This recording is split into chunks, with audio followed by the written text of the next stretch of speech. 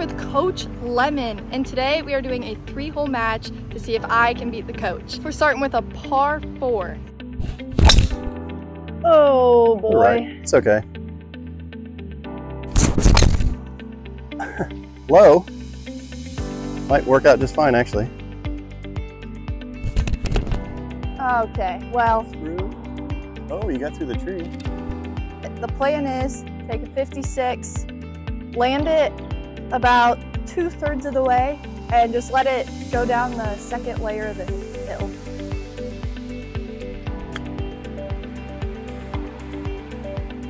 Oh, great sit. shot. Go in. Oh man, Ooh, man, great shot. I'll take it.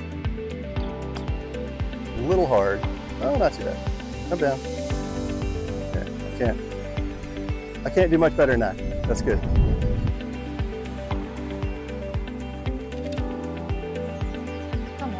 Oh, there, we go. Let's go. Let's go. Great par. Well, four feet left for birdie. And uh, Maddie's in with par, so I really need to get this so I can go one up.